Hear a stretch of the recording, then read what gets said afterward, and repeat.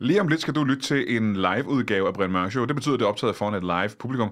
Og øh, som sædvanligt, når vi optager det her live foran publikum, så har publikum lige bestemt, hvem gæsterne skal være, når de kommer ind på scenen. Det betyder, at øh, de komikere, der er med i showet, de har haft ingen tid til at forberede det her interview, eller den karakter, de spiller. Og det er jeg simpelthen bare øh, meget imponeret af. Det håber jeg sådan set også, du bliver. I aften et af Danmarks allerkendteste ansigter, ja, og resten af hans krop også. Og nogle mennesker, jeg ikke har nogen anelse om, hvem er. Alt det og intet mindre i Brian Mørk Show.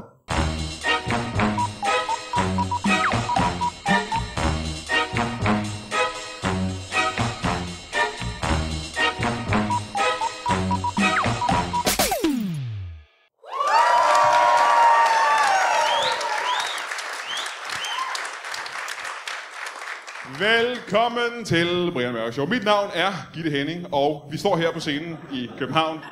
Gode gamle kongens København. Øh, og øh, vi er simpelthen så glade, fordi vi har et show, der er ja, ualmindeligt. Det er bedre, end det plejer at være, og det har noget at gøre med, at publikum i aften er så tiltrækkende. Jeg ved ikke, om det- og kloge, altså. Det er muligvis, der sidder 400 meget, meget glade mennesker herinde, og øh, 1.500 mennesker, tror jeg. Jeg kan ikke rigtig se det her, men der sidder rigtig, rigtig mange mennesker. Og jeg er glad for, at de er kommet og har betalt 400 kroner for billetten. Det er jeg glad for. Tusind tak for det.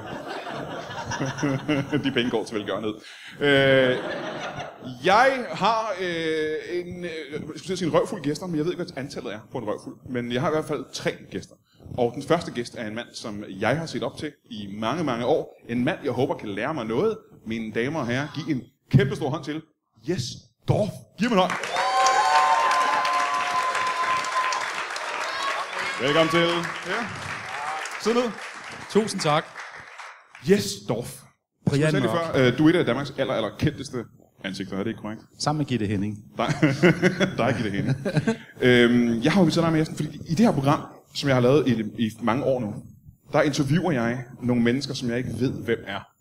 Og jeg skal virke interesseret, og jeg skal i virkeligheden have nogle information ud af de her mennesker. Og det er noget, du har gjort rigtig, rigtig meget er det ikke det? Jo.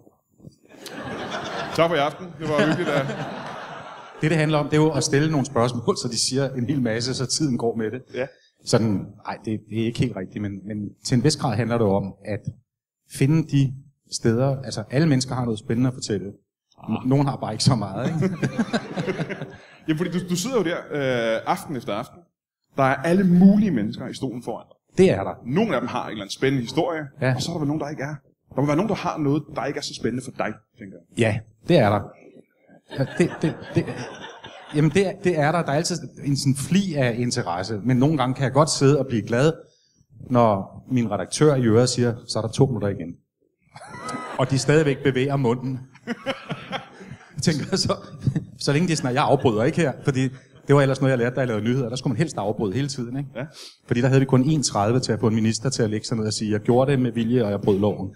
Men øh, sådan er det ikke med det, jeg laver nu. Men jeg er meget imponeret over, at du kan sidde og gøre det, fordi når jeg sidder og ser programmet, altså hvis jeg synes, personen er kedelig, eller har noget virkelig uinteressant at fortælle, Har- det har du været ude for. det har jeg prøvet, ja. Jeg, Ja. har, faktisk, jeg har været den person i fjernsynet på gang. Du har faktisk ikke været gæst hos mig endnu, Hvorfor har jeg ikke været gæst hos dig? fordi vi prøver at undgå de aller, aller kedeligste.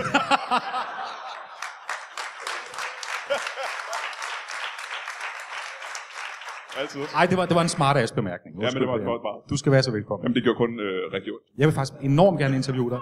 Vil du gerne interviewe mig? Ja, det vil jeg gerne. Nå, jamen, du har chancen nu, så. Jamen, nej, nu skal du interviewe mig. Så kommer du, så kommer du. Har du nogensinde prøvet, øh, når du sidder over for en øh, interview-offer, hedder det et offer? Ja, sådan i, i, i, i, fagjargon. Ja. Eller en interviewperson, eller en gæst. Det hedder det, når man laver på gæst, ja. Så er det gæster. Gæst, ja, det er rigtigt. Du var ikke Ja. offer. Øhm, har du været i en situation, hvor, hvor du sidder og kigger på den der person, og så ved du pludselig ikke, hvad det er, I snakker om? Ja. Primært, øh, der er nogle gange, hvis jeg for eksempel i dag interviewer sådan nogen, der laver YouTube-ting, eller er meget på Instagram. Altså unge ma- mennesker, mener? Unge, ja, for eksempel. er det det, de hedder? Så kan jeg godt sidde, når de sidder og snakker om sådan et eller andet med noget, de lægger ud, og, og, og hvordan, hvor mange visninger det har haft, sådan 8 milliarder visninger på. Så ved jeg simpelthen ikke, hvad det går ud på. Og jeg har lyst til at sige, hvordan fanden kan du tjene penge på det? Ja. Og der sidder en masse glor og klikker på det der. Men, men jeg, jeg, på en måde giver jeg lidt op, for jeg er godt klar over, at ellers interviewer jeg om noget, som, hvor, hvor jeg virkelig viser, at jeg er dum. Nå. Og det er jeg jo sådan set på en måde også på det. Og så har jeg været ude for, at jeg, det var mere dengang jeg var vært på nyhederne, at jeg interviewer folk på et så højt teknisk niveau om en eller anden specifik ting, at jeg simpelthen ikke fattede, hvad det gik ud på.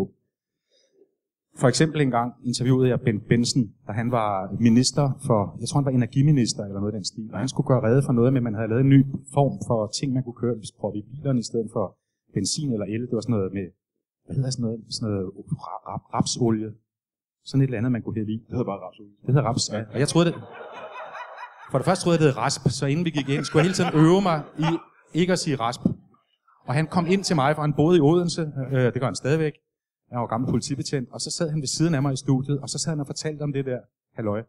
Altså noget, der kunne altså, simpelthen revolutionere øh, dansk energiforbrug og bilernes alt det der. Og for det første var jeg skide ligeglad. Virkelig ligeglad. Jeg havde en gammel Golf, og den kørte fint, og jeg, jeg vidste, jeg kunne ikke hælde, jeg kunne ikke hælde raps i den.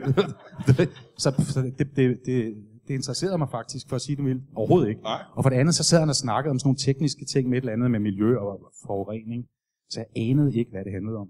Og der var jeg glad for, at han snakkede, og så gik tiden, og så kunne jeg sige tak for din, fordi du fremlagde, hvad det her handler om, og fortalte os alle sammen, Ben Benson. og jeg, og jeg, jeg var kulsort indeni. Panikker man ikke, når man sidder i den situation?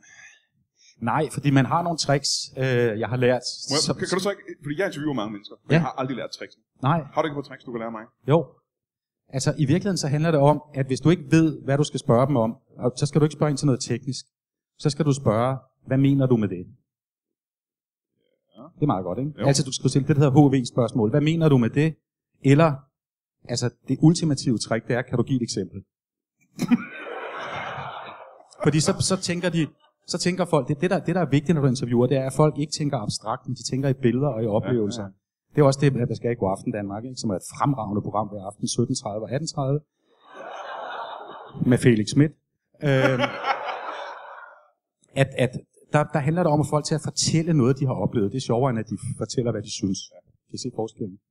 Så hvis man siger, hvis man siger, kan du give et eksempel, så begynder folk at tænke i en eller anden gang, de har, de har lavet noget, der gik stærkt, eller var farligt, eller sådan noget, og så bliver det sjovt.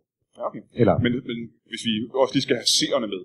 Jo. Kan du ikke prøve at forklare det igen for seernes skyld? Ja. Eller kan jeg forstå det sådan, at... Og så kan man sige et eller andet, man tror. Og så hvis de retter, så så går der jo 30 sekunder med det.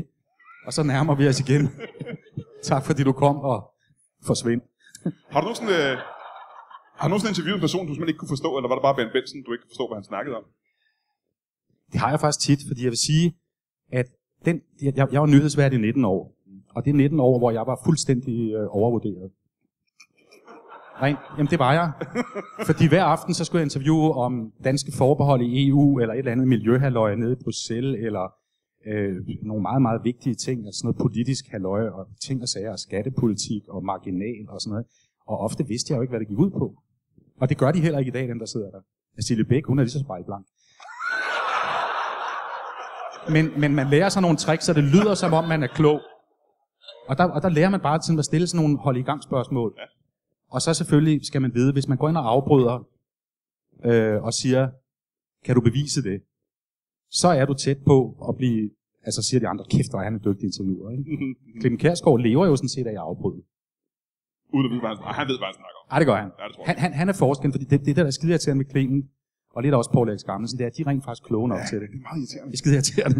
Især fordi, hver gang der er en eller anden form for tv-event eller fest, så ender jeg altid øh, i en gruppe, hvor jeg står og snakker med øh, Mads Brygger og øh, Clement og Lasse Remmer. Og jeg står bare og smiler og nikker. Ja. Jamen, der, der, der, der, der er du fuldstændig fejlkastet.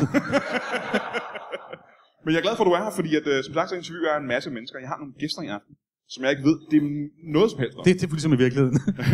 og så skal jeg bruge dine evner i virkeligheden. Er I klar til at møde vores første gæst? Mine damer og herrer, vi skal simpelthen møde en astronaut. Giv ham en hånd. Kom indenfor. Goddag, velkommen til. Sid ned. En astronaut. Det er jo ikke øh, noget, man ser hver dag i Danmark. Men skal vi ikke lige starte med at få dit, øh, dit navn? Jo, jeg hedder Patrick Sveingart.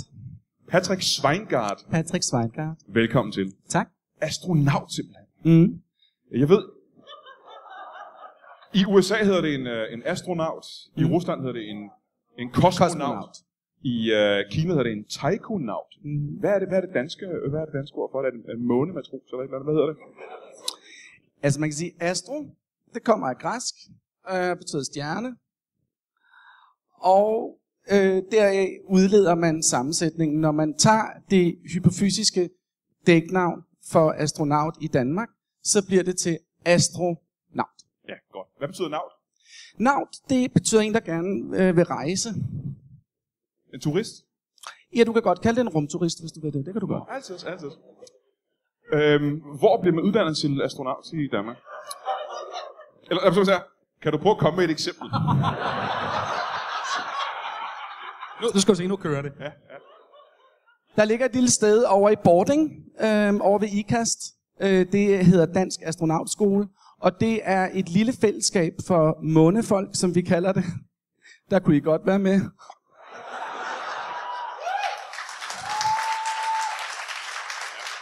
Og vi kan lige sige til dem, der hører det her på en podcast, at Brian Mørk er skaldet. Ja, ja, og det er Dorf ikke. Så, åbenbart. Spejl, spejl. Så kan I sidde og lege spejl hele aftenen. Nej, men det er over ved boarding ved IKAST, hvis vi lige skal prøve at, at øh, holde fokus på astronautskolen. Fordi det er faktisk ret vigtigt. Det er et rigtig, rigtig vigtigt fællesskab. Er det en- det? Ja, det er en community, øh, et community for rigtig, rigtig glade mennesker, der rigtig, rigtig gerne vil ud og rejse op mod månen, op mod øh, de højere stjernelag, kan man sige. Det der med, med, med månen, øh, har du været forbi månen, eller hvor langt har du været oppe, som man siger?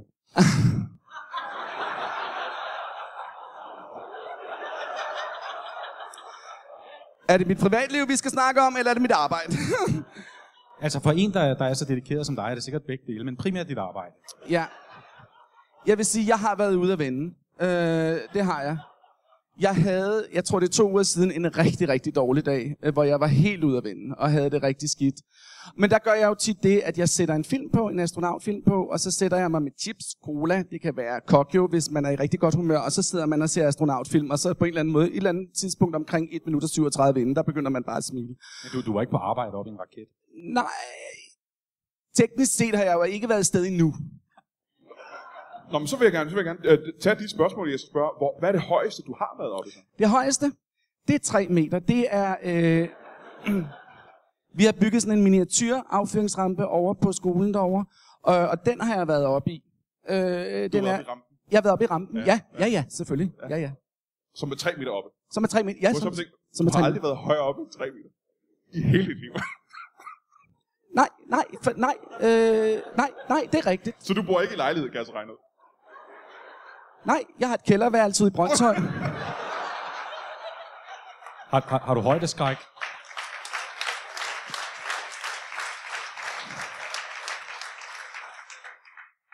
Jeg vil ikke kalde det højdeskræk, men jeg er sjældent i Tivoli, lad os sige det sådan.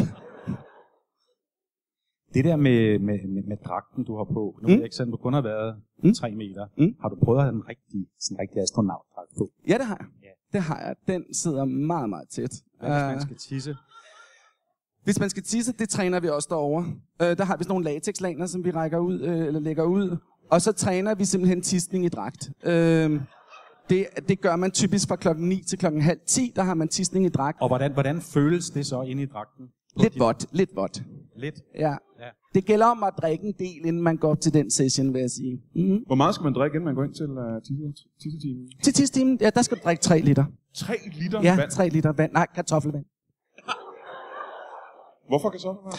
Fordi kartoffelvand, øh, og det er der ikke særlig mange, der ved, men kartoffelvand arter sig ret anderledes op i de højere luftlag. Lige så snart man passerer stratosfæren, så er det som om, at kartoffelvand er faktisk det eneste, der binder kropsvævet inde i væsken i cellular mouth. Som, ja, det, undskyld, det er nogle termer, som I selvfølgelig ikke kender til.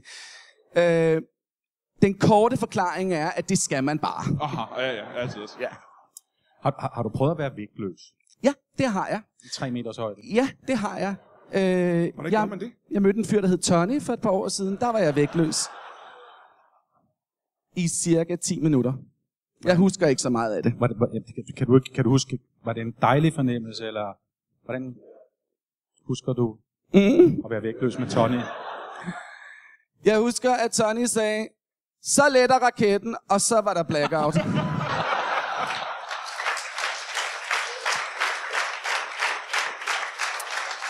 Øh, det her det er altså øh, super interessant, og jeg vil gerne vide mere om det, men vi har lige en anden gæst, vi også gerne lige vil, øh, vil møde. Hej, jeg hedder Brian Mørk, og det gør, du kender mig fra øh, en podcast ved navn Brian Mørk Show, og øh, nogle andre for eksempel.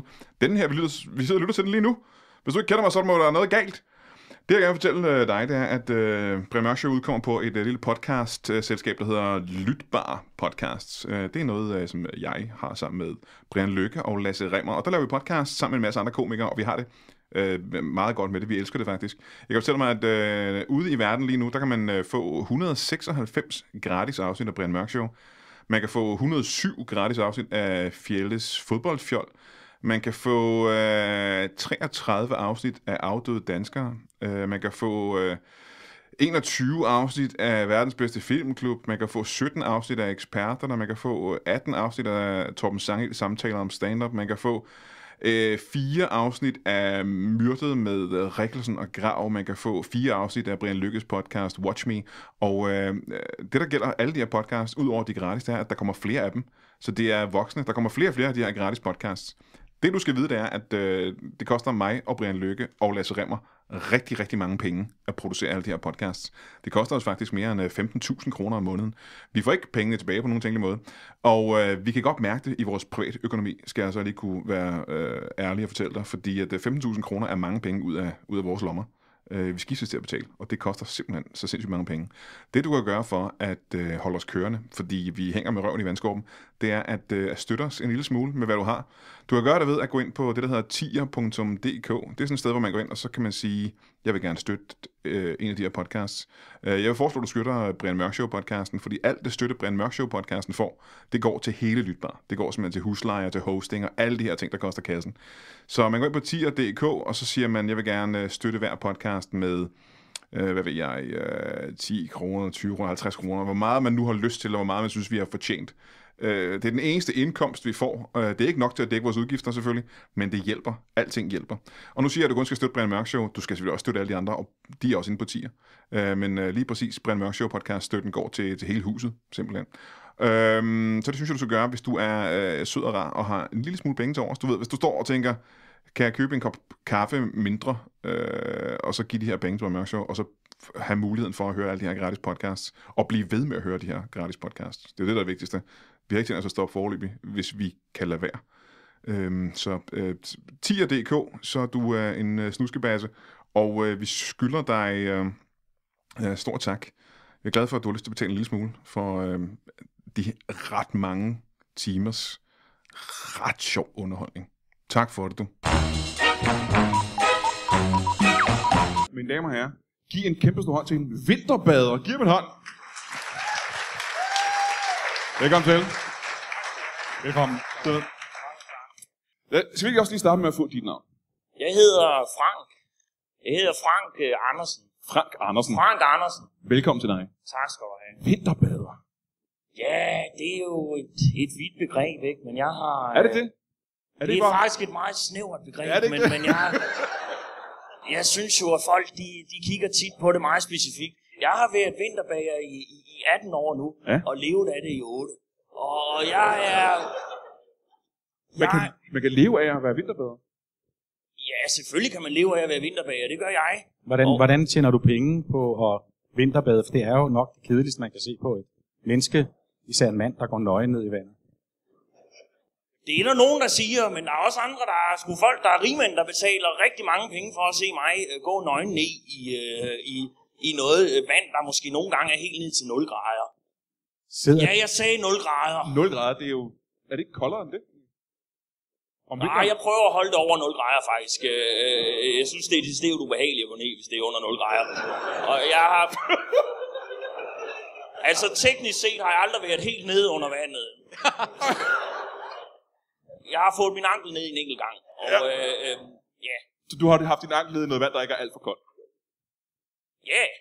Det, sådan kan man godt øh, øh, sige det. Ja. Så du er mere en vintersopper, så vi ikke sige det? Er det ikke mere rigtigt?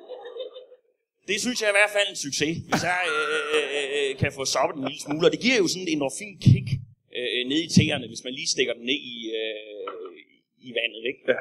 kan du forklare, hvorfor vinterbader er så glade for at fortælle os andre, at de vinterbader? Jamen det er jo, det er jo også mest der, jeg tjener mine penge. Øh, øh, jeg holder simpelthen foredrag om det, øh, og på den måde kan jeg leve af det ved at fortælle om, at jeg af vinterbager. Kommer der lige så få til dine foredrag, som der er her i aften? Der kommer væsentligt færre. Men, men det er... Øh, det er meget rige mennesker, øh, der, der ikke rigtig øh, kommer uden for deres comfort zone, øh, som vi kalder det inden for vinterbaning. Øh, øh, som simpelthen lever det meste af deres liv i, i, i et opvarmet spagbad. Men det, det, du synes måske, det her er lidt interessant. Du siger, at der er rige mennesker, der betaler dig penge for at se dig dyppe dine akter i koldt vand. Hvad betaler de dig? Hvor meget får du for at dyppe dine akter i koldt vand? Jeg får 23.000 som øh, grundpris. Øh, øh, det, det er øh, øh, uden moms. Øh, øh, Så det er 23.000 plus moms. Plus moms, ja. Hvad, hvad er det, de tænder på, som når du får 23.000 for at døbe en ankel i vandet hos en rig, for en rig mand? Jeg ved ikke, står han lige ved siden af, eller hvordan ser det ud? Nogle gange tager jeg dem i hånden, øh, øh, øh, simpelthen, hvis det er det, de vil. Øh, det er ikke altid, de har lyst til det. Øh, andre gange, så, så ser de mig fra lang afstand med kigger. Øh, Så der, altså, det, er, jamen, det er ikke, prøv, det er ikke mig, der, der køber det her. Øh, kan du jeg, nævne... Jeg bare. nu ved jeg godt, at det selvfølgelig måske er lidt øh, Indiskret. ja, indiskret. Kan du nævne, kan du nævne øh, navnet på, på en af de rige mænd, der betaler dig 23.000 plus moms for Alt, dig? ja, altså Claus Riskær, han har øh, øh, skillige gange øh, betalt mig store beløb. Øh, Nå, det må jeg ikke sige, eller hvad? Jo, Du spurgte? du hører sikkert fra ham. Jeg tænkte på, og det... det, Det håber jeg, jeg gør igen, fordi det- jeg, jeg, Jeg ved også, at Ben Fabricius, ben Fabricius Bjerre bor ganske tæt ved Øresund. Ja, øh, øh, øh, Ben Fabrik, eller Fabrikken, som jeg bare kalder ham, øh, han, øh, han spiller nogle gange til min vinterbaning. Øh, og, og Riskær, Riskær, han betalte, han betalte ham en gang for at spille Alicat, øh, imens jeg langsomt øh, gik ned i, i, i noget vand, der var kun øh, to grader varmt. Så det er, altså, det er seksuelt for dem. Det er ikke... Øh, Igen, det er ikke noget, jeg vil, jeg vil, jeg vil bore i.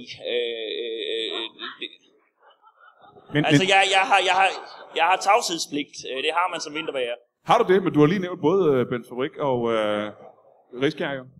Det er rigtigt, men nogle gange så bryder jeg min tavshedspligt. øh, og, og, og, ja.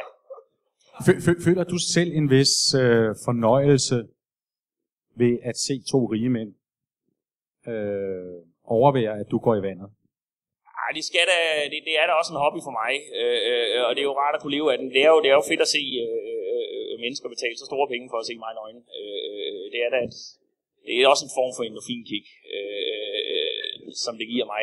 Det skal jeg da være den, den Ja, sidste ja, ja. til at, eller første til at sidste til at indrømme, øh, at jeg er den første til at indrømme. Hvad laver du så, når der er sommerferie? Der kan man jo ikke vinterbade. Jamen, øh, der sommerbager jeg, øh, og det, øh, øh, det holder jeg så foredrag om, om efteråret. Øh, øh, og, og, Er det så også kun anklerne, eller er det hele kroppen, du tager ned om sommeren? Nej, det er jo lækkert. Øh, øh, der svømmer jeg hele vejen. Ja, det er behageligt, ikke? Ja, det er nemlig behageligt. Ja. Men du tjener rigtig gode penge på det. Uh, nu Ja, er uh, som dansk astronaut, hvis jeg lige går op tilbage til dig engang, uh, kan man leve af det? Som astronaut? Ja. Åh oh, ja, det kan du sagtens. Det kan du sagtens. Hvis du har et arbejde ved siden af, så lever du fint. Så du har et job ved siden af? Ja, ja. Ah, Okay. hvad, hvad, laver, hvad laver du ved siden af? Jeg er buschauffør. Buschauffør over ved boarding? Nej, ikke over ved boarding. Det er ved Middelfart. Der ligger jeg og kører bus. Aha, aha, aha. Mm. Øhm, Kan, kan du bruge din erfaring som buschauffør til dine drømme om at komme endnu højere op end de tre meter, du har været? Det kan jeg. Det kan jeg virkelig godt, fordi hvis jeg holder i et kryds, og der er en bakke lige foran mig, så skal jeg love dig for, at jeg kan få det møgdyr op i den bakke. Uh, nej, det kan man godt. Det tror jeg også. Du må, du må egentlig have erfaret, at det der med, når man, sådan, når man altså har noget, man går op i, så, så kan man, det kan man godt trække med ind. ja, det kan man i hvert fald. Det, det er noget, som, som jeg også oplever, at, at, at, at nogle gange, øh, så... Øh, jamen, jeg kan se det i Ben Fabriks øjne. Øh, øh, nu, nu, nu, nu, skal du, nu skal du være ekstra øh, op med raketten, som han, han råber. Ja. Øh, øh, og, og så Den kender jeg, så du jo også. Så, så er der lift-off. Nu bliver jeg nødt til at, at, at præstere ekstra meget, så kan jeg godt finde på at lave en værmøl. Han har også spillet for mig, skal vi sige. Det er ikke for at tage det fra dig, men han har også spillet for mig. Så. Ja, men han, er- jeg, jeg ved, han har nemlig snakket om, om, øh, om, ja, om Han har også snakket om dig i vinterbader. ja, han er, han er, nemlig, han er nemlig en... Øh, Han er en gavtyv. det er ikke det ord, jeg vil bruge, men ja, han er en gavtyv. øh, det, det er faktisk det helt rigtige ord, hvis det skal være... Ja. Det, det er noget af det gode, Brian, det er at få gæsterne til simpelthen bare at sidde og snakke sammen. Og nu snakker de om det fælles kick, de har ved skide deres øh, store, fantastiske interesser. ja, ja, ja. Men hvad gør du så, hvis du har to gæster inde, som, øh, du har aldrig gæster inde, som har to forskellige emner at snakke om?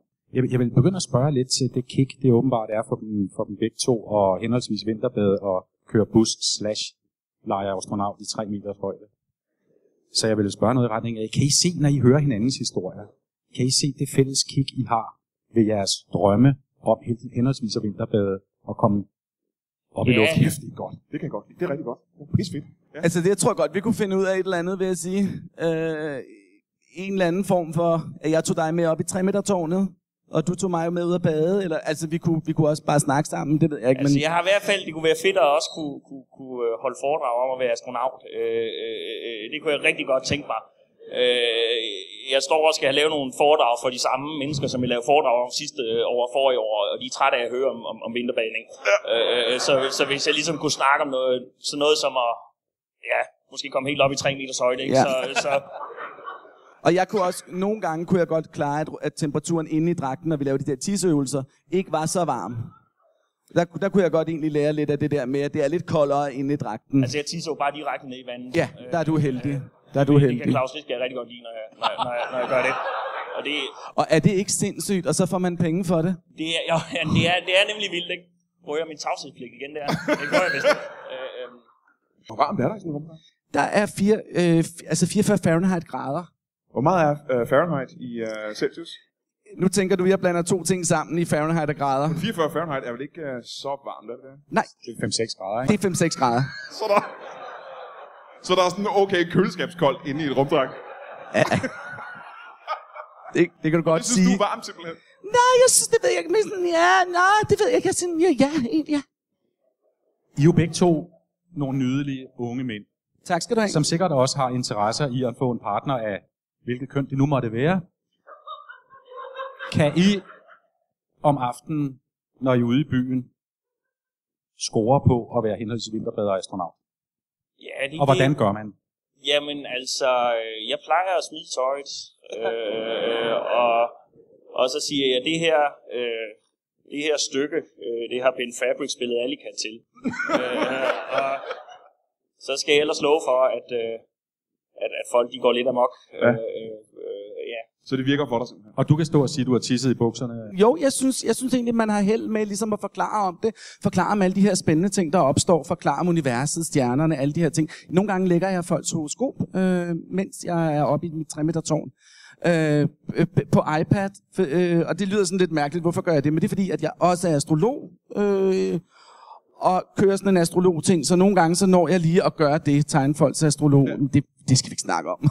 Altså, jeg har for eksempel fået tegnet øh, mit, øh, øh, hvad kaldte du det? Ja, astrologihus. Ja, ja, lige Øh, præcis. Ja, ja, Øh, astrogram. af Pal. Og det, det, det er sjovt, at jeg er nemlig øh, jeg er skytte øh, øh, i ascendanten, Ja. og øh, det viser sig, at øh, øh, her næste år øh, øh, til, til juni, der sker der noget rigtig godt for mig. Og det er da spændende. Hvad Og hvad er det, der sker? Jamen, det, hvis jeg Jamen- må sige det, øh, eller det, jeg har set det nu, jeg har jo selvfølgelig også en tavshedspligt. Den kunne jeg jo også lige må sige det, sig Okay. det. Det. Der sker, er, at der kommer flere partnere ind i dit liv, og øh, de kommer i en bus, og I tager ud at bade, og, ja, og I har glemt jeres håndklæder. Det er som om, det er middelfartbussen, øh, øh, så meget kan jeg huske. Præcis. øh, øh, der kommer kørende. Det, det stod der direkte, at, at øh, især chaufføren skal du tage rigtig godt imod. Ja. Øh, øh, så det glæder jeg mig til, fordi det virker som om, der er mange penge i det simpelthen. Ja, ja, ja. Det er der. Øhm, og det er interessant, du lægger, du lægger horoskoper simpelthen. Ja, det gør jeg. Øh, hvad er du født i, uh, Jes? Øh, jeg, jeg er vedder. Du ved mig. Ja, mange mm. tror, jeg er jomfru. Og det har du aldrig været. hvad kan du fortælle os om, øh, om vædder? Vædderen. Hvad for en karakter trækker en vædder? En vædder er, er tit øh, øh, ret positiv, ret sjov og, og ret, ret lunefuld. Kan godt finde på lige pludselig at skifte over og ændre karakter. Hold da kæft. so to speak. Ja. Og øh, en anden sjov ting om vædder er også, at de, de nogle gange øh, kan bryde ud i sang. De har det med lige pludselig at synge. Just take me up where we belong. Hold kæft, se nu. En rigtig Nej, vædder. Nej, nej, hvor er det flot. Det er helt sikkert en væger, det der. Det er en væger. Jeg havde skudt dig til at være tyr, men okay. Det kan være, at du kan synge med næste gang, at, øh, at jeg er vinterbager. Ben Fabrik, han lægger, han lægger tonerne, og så skal du bare falde ind. Alle katte er jo instrumental. Man kan godt nynne den. Må jeg høre her til på falderæbet. Jeg kan godt tænke mig at høre, hvis man har interesse i at blive vinterbader, har du sådan nogle gode råd, du har give til øh, en, øh, en ung, håbefuld vinterbader? Jamen, det er noget med at, at, at først finde noget vand. Ja. Og så, øh, så et termometer, det er rigtig godt. Øh, fordi der er ikke noget værre end at, at, at begynde at bade, øh, vinterbade, og så finde ud af, at, at det er simpelthen 22 grader varmt, det her vand. øh, øh, og så gå ind i en sauna bagefter, og, og, og så simpelthen få det, vi kalder et, et, øh, et, et dehydreringschok mm-hmm. øh, øh, indenfor. Så først finde noget vand, der er ordentligt, og så øh, bagefter, øh, og så selvfølgelig planlægge nogle foredrag om det. øh, øh, øh, med det samme vil jeg faktisk sige. Det er af det første, man skal gøre. Ja, det, var, det var i hvert fald det første, jeg gjorde. Må høre, øh, hvad, hvis man er en ung og håbefuld astronaut, øh, hvad, hvad er så et godt råd? Øh, først og fremmest skal man finde sig en raket. Øhm, og når man har... har jo ikke fundet, I har jo ikke en raket. jo. Nej, eller et rakettårn. Øh, det var min næste ting, jeg ville Der er foreslå. en, Det er, har en, der er ledig. Han har også en ubåd, han ikke bruger.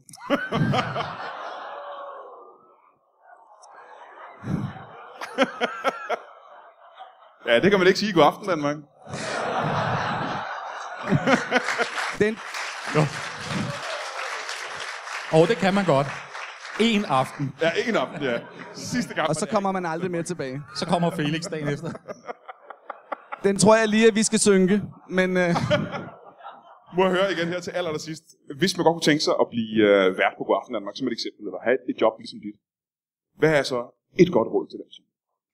Godt råd. Øh, for sit liv, elsk de kendte. Elsk de kendte. Yes. Hvad med elsk, Altså, Og elsk dig, vinterbedre eller og hvad astronauter. med elsk med de kendte? Øh, øh, fordi Claus Riskær, ham, øh, den har jeg fra CV'en. Ej, dem, Der dem, bruger jeg min tavshedspligt igen. dem, dem, dem er, der, der er mere over i Tandholds afdeling, er vi ikke? Jo, jo, jo, måske. bind der, så kan jeg godt blive vært. Er det rigtigt, du har elsket med en kendt? Jeg har elsket med, ja, indtil flere kendte. Nå, jamen kan vi igen, hvis det ikke skal være indiskret. Men det er simpelthen lidt for hårdt at sidde og snakke om her, hvem vi har elsket med, synes jeg. Vi har en tavshedspligt, vi kan ikke bryde den. Vi kan ikke begynde at sidde Nej, og sige, ikke, og jeg kan ikke sige, at... nej, Peter det er Frødin, og øh, altså, Det, det vil være at bryde min tavshedspligt. ja, Ulf Jeg- jeg Pilgaard, hørt- så havde jeg brudt den, Jeg for eksempel. Flemming Flint var vinterbedre. Flemming Flint var vinterbedre. Ja, jamen, det er han. Nå, men mine øh, damer og herrer, jeg er bange for, at vi er løbet tør for tid. Vi har været fremragende publikum. Giv en stor hånd til Jes Dorf. Og uden nogen grund, Mikkel Skrøder og Jakob Tornhøj. Giv dem en hånd. Tak for det.